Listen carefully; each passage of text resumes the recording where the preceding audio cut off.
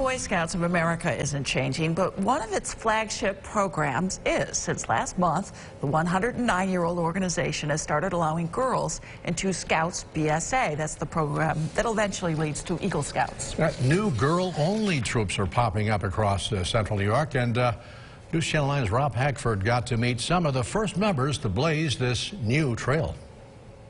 Troop 150 out of the St. Rose of Lima Church in North Syracuse is the very first all-girl Scouts BSA troop in central New York. I will do my best to do my duty. From the scout oath to setting up tents. Those are for the stakes. The only thing these young ladies have ever wanted from scouting is to be included.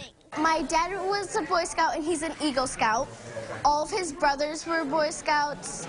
Um, my cousins. And the new focus is making that happen. They're embracing that family model. These are the scouts, the girls that have been, always been coming to the meetings, the den meetings in the Cub Scout level, and been coming to the troop meetings with their brothers all along. So now they're actually able to participate in that as a family and everything. It's a chance to do what they love. Knife skills and starting fires. Probably like archery and shooting guns and stuff because people think only guys can do that stuff. I think it's weird that people always thought that boys can only do these things and girls can only do these things. Three new scouts wise beyond their years, now writing their own chapter in the Scouting Handbook. I don't think we need to talk to the girls about empowerment. They're, they're empowering themselves as this. And now there are plenty more troops taking action. Scout Executive Gray Rowland. Right now, we have about 18 organizations that are in the process of organizing girl troops in Scouts BSA. At least four of them have existing boy troops, but they're now seeking a separate but equal girl version.